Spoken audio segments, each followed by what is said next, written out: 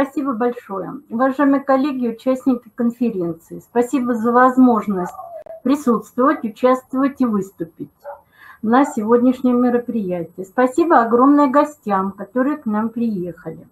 Современное развитие инфокоммуникационных технологий вынудило нас всех овладеть этими технологиями, внедрить их не только в нашу повседневную жизнь, но и в систему образования. Мы заговорили о цифровизации образования, что само по себе заслуживает совершенно отдельного обсуждения. В одном из последних своих выступлений, уже в период карантинных мероприятий, президент Российской Федерации Владимир Владимирович Путин похвалил систему образования за устойчивость в условиях эпидемии. Наверное, по причине того, что система образования не рухнула, не остановилась, не прекратила работать и достаточно быстро перешла на дистанционную форму. Применение информационных технологий вполне применимое в образовании тоже. Но где, насколько это возможно, а где невозможно вообще? Не могу не упомянуть установку Андрея Фурсенко, занимавшего пост министра образования России с 2004 по 2012 год который указывал, что недостатком советской системы образования была попытка формирования человека-творца. Задачу же современной России Фурсенко видел в тот момент, чтобы вырастить квалифицированного потребителя, способного квалифицированного пользоваться результатом творчества других. И тогда вопрос, а кто эти другие, которые творческие, они где и кем будут воссоздаваться? Сергей Михалков за всю свою длинную, продолжительную жизнь несколько раз э, повторял одно, один и тот же постулат. Сегодня дети, завтра народ.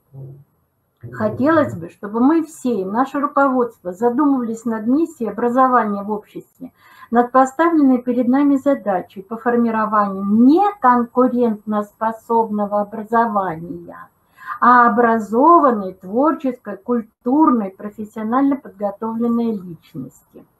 Хочу обратить ваше внимание на то, что то, чем мы занимаемся, чему посвятили всю свою жизнь, называется образованием, что не есть только самостоятельное получение знаний или видимость этих знаний. Образование – это процесс обучения и воспитания личности, процесс сложный, многосторонний – но никак не платная или бесплатная услуга.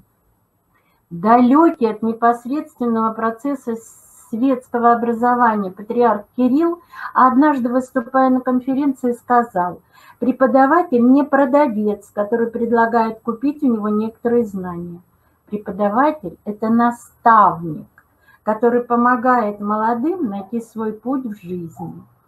По исследованию проблем в системе юридического образования на базе юридического института СКФУ в рамках реализации гранта РФФИ мы опросили студентов первого-второго курса, обучающихся на бакалавриате и на магистратуре. Опросы мы продолжаем проводить и сейчас в условиях дистанционного, э, э, дистанционной формы общения. Некоторые результаты опроса были крайне неожиданными для группы исследователей, а именно были отмечены низкие показатели профессионального уровня правосознания будущих юристов, что можно было бы объяснить, ну, скажем так, формированием профессионального правосознания процесс еще не завершен на втором курсе. И второе, чем можно было бы объяснить, я все время говорю, было бы, наблюдается общая негативная тенденция в российском обществе, свидетельствующая о низком уровне правосознания и правовой культуры в целом, что сильно настораживает. Мы просто не успеваем работать со студентами, а другие успевают работать с ними. Много проблемных вопросов и ответов для размышления мы получили, исследуя механизм приема в юридические вузы. Кого и как мы принимаем? Каков основной принцип отбора и поступления в юридический институт? Ну, допустим, что мы подготовили профессионала, специалиста, а он как был, так и остался с деформированным правосознанием. И здесь я позволю себе привести несколько ответов наших опрошенных студентов-магистрантов первого года обучения, выпускники нашего учебного заведения. Задача стояла завершить предложение. Итак, юрист должен знать законы. Так, и далее ответ. Как ошиб... Так как ошибка юриста равносильно ошибке врача, она может стать человеку жизнью. Второе. Мои, обя... Мои обязанности в юридической профессиональной деятельности заключаются в том, и ответ, чтобы помогать гражданам своей страны и в стране в целом. Третье. Свое отношение к праву я характеризую, заметьте, ответ, как трепетное уважение к закону. Если бы все люди нарушали законы, то ответ жизни на планете Земля бы не было какие должны быть, каким должно быть правосознание обучающегося в юридическом вузе. И следует ответ высоким и трепетным. Если поступил в юридический вуз человек с деформированным правосознанием, то ответ – этот человек не должен работать юристом. Можно ли в процессе обучения в юридическом вузе исправить деформированное правосознание? Ответ. Вряд ли можно сделать. Такие люди не должны обучаться столь важной профессии. Если выпускник юридического вуза с деформированным правосознанием получил диплом о высшем профессиональном образовании, то и продолжение непременно стоит его лишить данного диплома, пока он не покалечил других людей. И последнее. Если профессиональное юридическое правосознание специалиста деформировано, продолжение, то в своей деятельности он не достигнет высоких показателей результатов, он может использовать знания и навыки вопреки людям и государству. Это наши выпускники, первый курс магистратуры. Радует то, что мы становимся услышанными.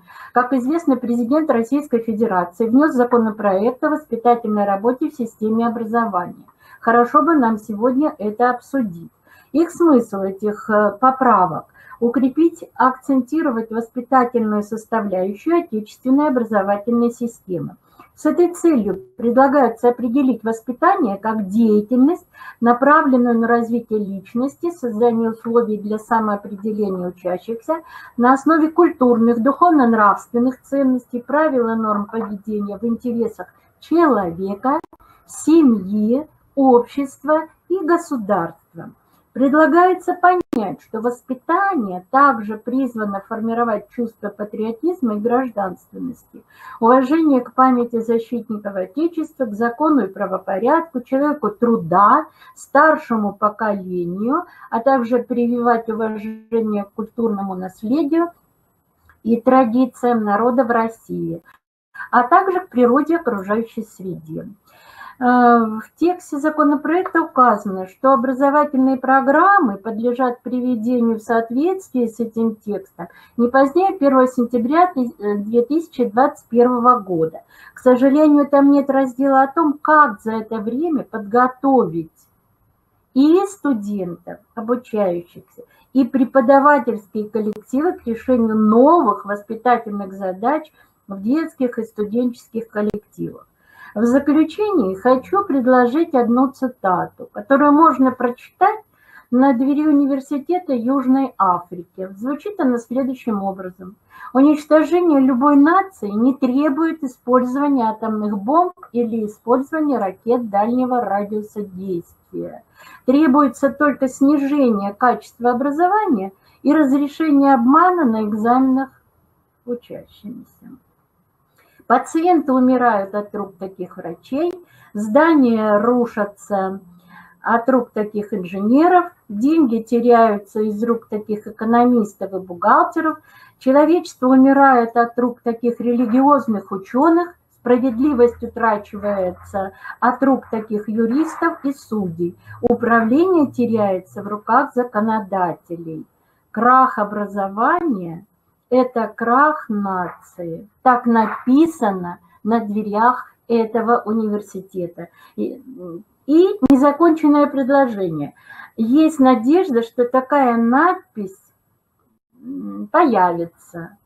В заключение я хочу поблагодарить работающих со мной по этому материалу доцентов Татьяну Викторовну Воротилину и Игоря Владимировича Жужгова, доцентов кафедры правовой культуры защиты прав человека. У меня все, спасибо.